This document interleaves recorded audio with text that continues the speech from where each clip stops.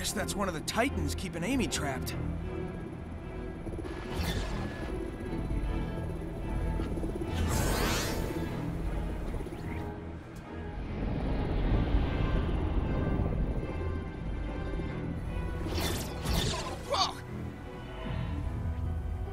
You leave immediately.